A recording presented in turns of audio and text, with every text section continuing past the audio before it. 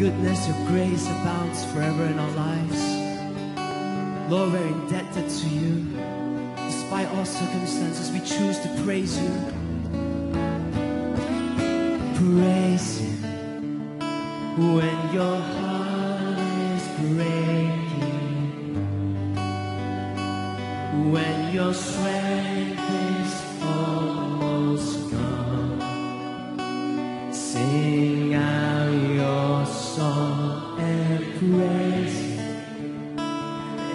your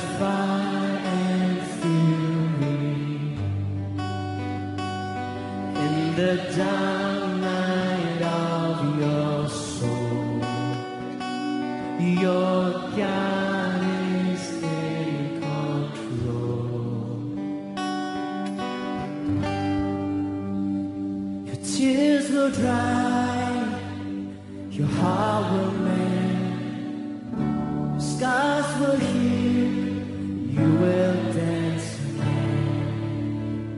Your tears will dry, your heart will mend, scars will heal, and you will dance again. Come on, church, clap your hands. Tell